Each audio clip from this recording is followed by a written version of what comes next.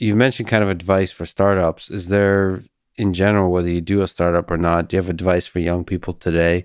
You're like an example of somebody who's paved their own path and were, uh, I would say, exceptionally successful. Is there advice, somebody who's like 20 today, 18, undergrad, or thinking about going to college or in college and so on, um, that you would give them?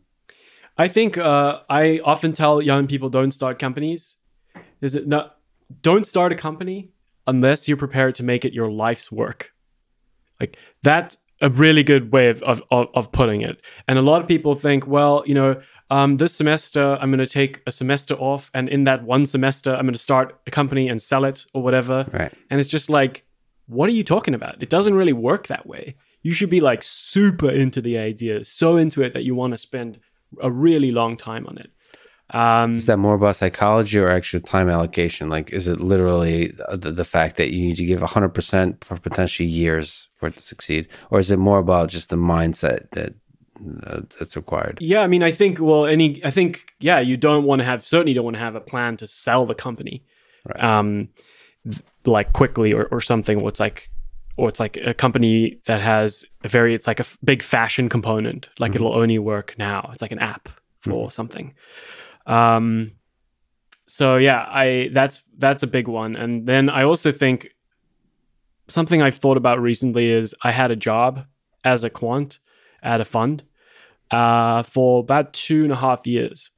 And part of me thinks if I had spent another two years there, I would have learned a lot more um, and had even more knowledge to to be where num- to basically accelerate how long Numerai took. So the idea that you can sit in an air conditioned room and get free food, or even sit at home now in your underwear and make a huge amount of money and learn whatever you want and get it's just crazy. It's such a good deal. Yeah. Oh, that's interesting. That's the case for. I was terrified of that. Like at Google, I thought I would become really comfortable in that air conditioned room, and that I was afraid the quant situation is.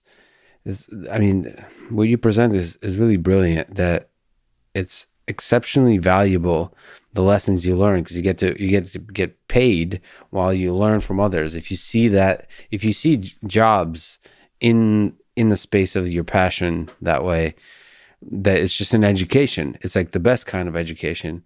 But of course you have from my perspective you have to be really careful on not to get comfortable like get in a relationship then you buy a house or whatever the hell it is and and then you get you know and then you convince yourself like well i have to pay these fees for the car for the house blah blah blah and then and there's momentum and all of a sudden you're on your deathbed and there's grandchildren uh, and uh, you're drinking whiskey and complaining about kids these days. Yeah. so i you know that i'm afraid of that momentum but you're right.